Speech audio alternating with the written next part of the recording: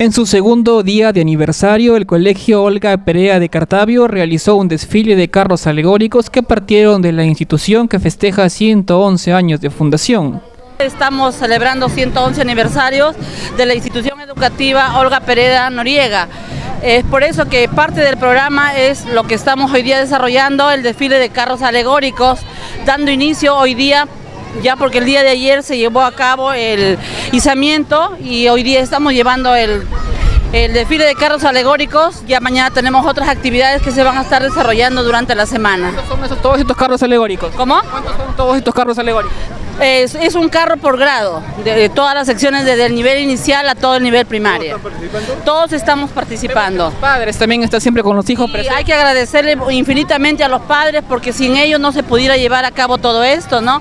Agradecemos a ellos su colaboración, su participación y más que nada es un buen ejemplo que llevan los niños y sienten felices cuando ven que también el padre participa. Cada grado de primaria presentó a sus reinas y carros alegóricos.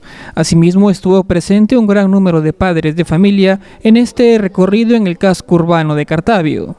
Eh, no, solamente hoy día hacemos un recorrido lo que es el centro, ¿no? que estamos ya llegando a, la plaza la 24 de junio, luego volteamos por la calle Real y ahí damos ya por terminado el corso. ¿Qué más se viene para esta semana de fiesta? El día de mañana tenemos este, el concurso interno de del área de ciencia y comunicación. Pasado tenemos el concurso interno de, lógico matemático y al final el día mañana mismo en la tarde también tenemos el deporte de padres de familia. Las actividades continuarán hasta este viernes 28, iniciándose con el izamiento cívico y coronación de reinas de este último 23 de septiembre.